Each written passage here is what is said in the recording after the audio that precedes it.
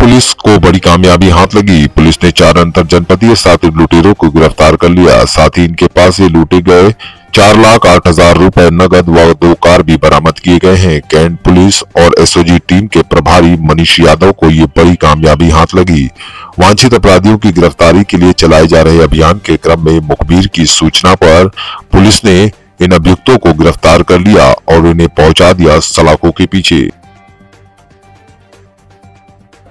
जनपद गोरखपुर में 28 तारीख को मॉर्निंग में थाना खोराबार में एक घटना रिपोर्ट हुई थी, जिसमें एक 70 वर्षीय रमाकांत जायसवाल, जो कि बिहार से साढ़े छः लाख के आसपास का कैश ट्रेन से लेकर के आए थे कैंट रेलवे स्टेशन पर उतरने के बाद कुछ लोगों ने उनको गाड़ी में बिठाया, आगे ले जाकर के उनके साथ मारपीट की और उनका ये कैश लूट लिया।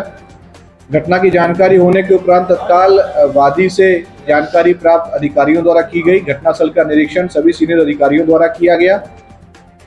घटना के बारे में जानकारियाँ प्राप्त करने के लिए उनसे तहरीर प्राप्त की गई। मुकदमा पंजीकृत किया गया। सीसीटीवी के माध्यम से वादी द्वारा बताए गए अभियुक्तों के हुलिये और गाड़ी की जानकारी के आधार पर सीसीटीवी खंगाले गए।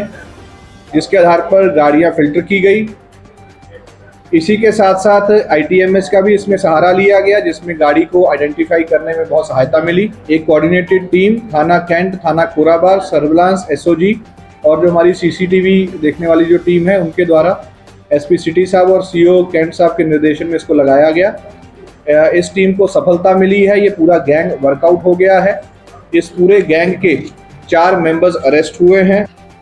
फ़िलहाल पकड़े गए इस गैंग के बाद पुलिस अब थोड़ी राहत की सांस ज़रूर ले रही है। इन सभी आरोपियों को पुलिस ने इनके असल ठिकाने सलाखों के पीछे पहुँचा दिया है। गोरखपुर से न्यूज़ ट्वेंटी